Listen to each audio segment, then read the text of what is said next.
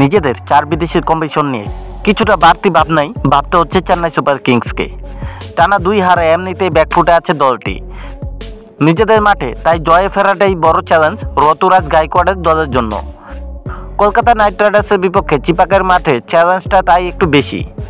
আবার এই ম্যাচে ফিরতে পারেন চেন্নাইয়ের একাধিক তারকা। মোস্তাফিজুর রহমান দেশের বিশাল কাজে শেষ করে চেন্নাই যোগ দিয়েছেন। আবার ইঞ্জুরির কারণে গত ম্যাচ মিস করা মাথিসা পাথিরানাও এই ম্যাচে ফিরতে পারেন। অন্তত দলের বোলিং কোচ এরিক সিমন্স জানিয়েছেন সম্ভাবনার কথা। ফিজ আর পাতিরানা দুজনেই চেন্নাই স্কোয়াডে ডেড বোলিং স্পেশালিস্ট তাদের ফিরে আসা স্বাভাবিকভাবেই স্বস্তি দলের জন্য। এসবের মাঝেও কথা আছে মঈন আলীকে নিয়েও। ইংলিশ অলরাউন্ডার হায়দ্রাবাদের বিপক্ষে নিজেদের শেষ ম্যাচে বেশ দারুণ ছন্দেই ছিলেন। ব্যাট হাতে নামার সুযোগ না পেলেও বল হাতে সাত দশমিক ছয় ছয় ইকোনমিতে পেয়েছেন দুই উইকেট আবার ব্যাট হাতেও মহিন বেশ কার্যকর।